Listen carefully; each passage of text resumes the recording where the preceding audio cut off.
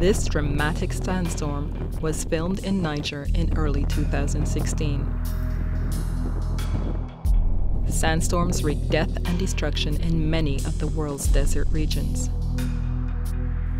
They occur when intensely hot air over the desert causes the lower atmosphere to become unstable, leading to strong winds that stir up vast amounts of loose sand.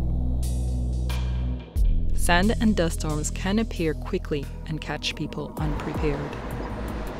Inhaling small sand and dust particles into the lungs can cause serious respiratory problems. Some people also suffer heart stress and eye infections. Fortunately, forecasters are becoming increasingly skilled at prediction. The Barcelona Dust Forecast Center relies on observations, supercomputers, sophisticated models, and expert meteorologists to provide forecasts of sand and dust storms for Northern Africa, the Middle East, and Europe. It provides forecasts to local and national authorities a full three days in advance. Mineral dust has an important impact on air quality and human health, the environment, and different sectors of the economy.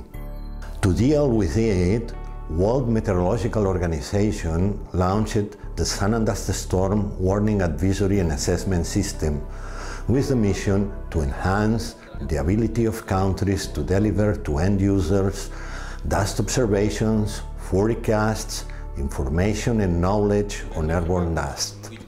This system is organized around regional centers. Translating forecasts into actionable and timely warnings for vulnerable and isolated communities, however, can still be a challenge. Greater collaboration among weather, health, and emergency agencies is needed at the national level. Many local and national institutions also need more equipment, infrastructure, and training. I think the international community should work with national and local uh, organizations to be able to do this work effectively. They may be able, apart from providing the information and making sure they have the information, perhaps also help with training, show them the best examples, how successful countries get this information disseminated The international community can help with resources, can help with training, and can show them the best working models.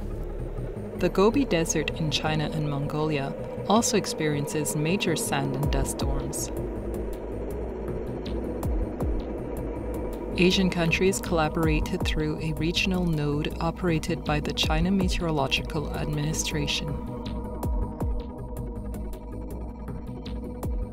沙尘暴 对亚洲的各国影响都非常大。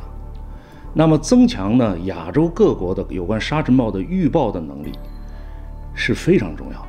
它对于沙尘暴的灾害的防治有着非常重要的作用。亚洲的节点是 WMO SDS-WAS，就叫 WMO 沙尘暴预警咨询系统首批建立的两个节点的之一。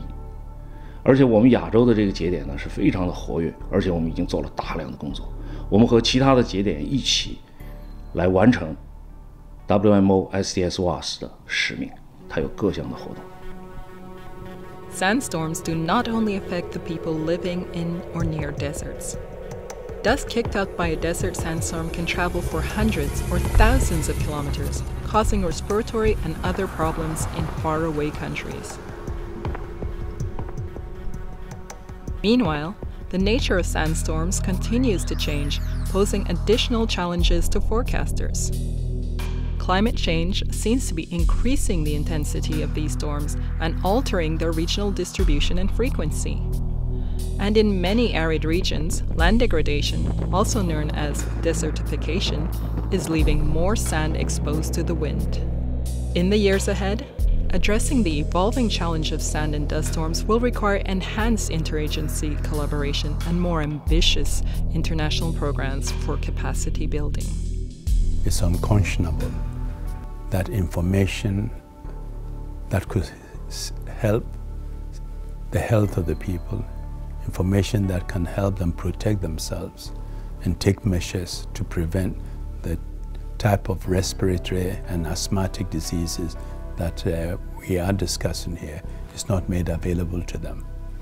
And all that it requires is limited resources, not big sums, to do that. And I would urge that all measures be taken to get it done.